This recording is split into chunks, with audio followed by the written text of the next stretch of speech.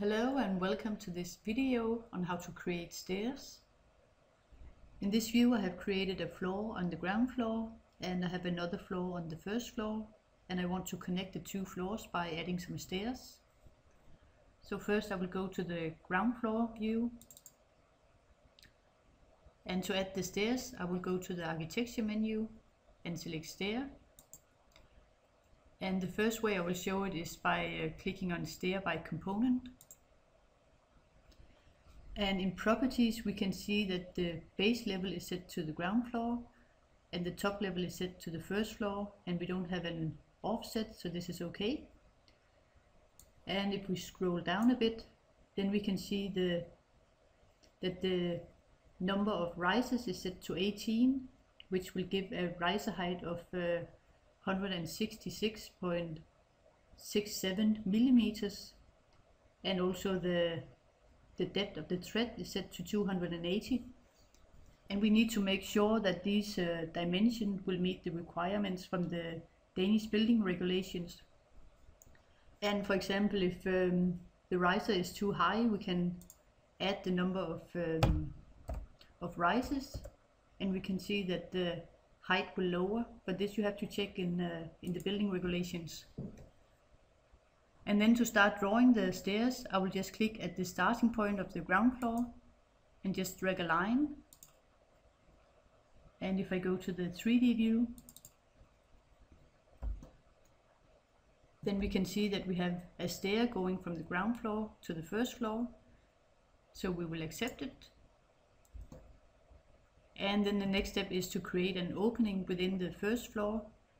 So I'll just go to the first floor view. And to create an opening, again I will go to the architecture menu and select the opening and I want to select the vertical opening.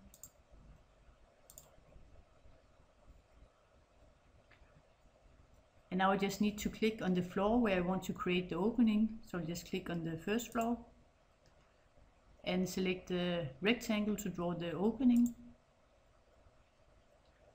Let's just draw it something like this. And I will accept it.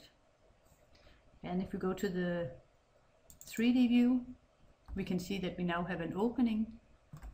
But if I go back to the floor plan and make a section through the stairs,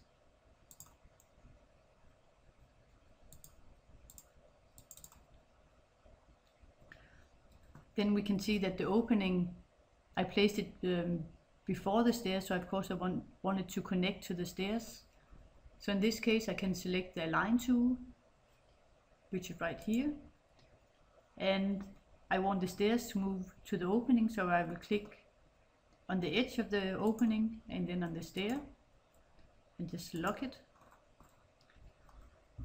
And the next step is to make sure that the height um, below the the floor is good enough compared to the de demands from the building regulations.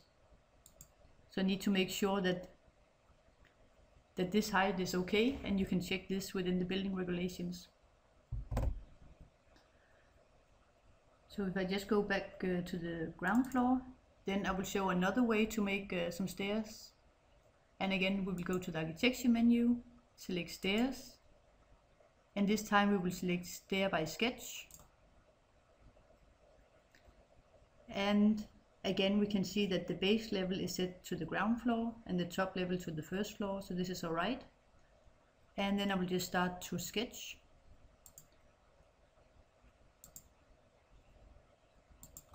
So something like this.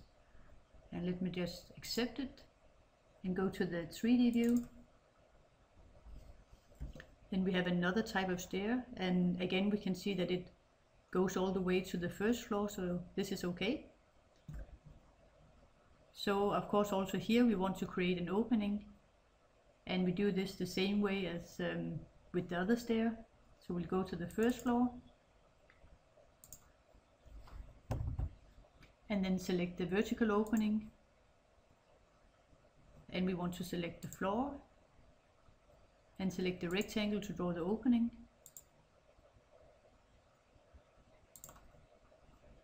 accept it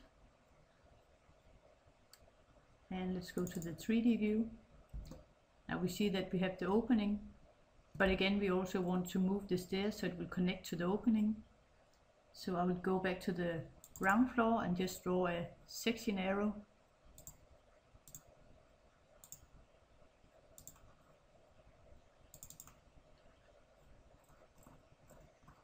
And again I want to use the align tool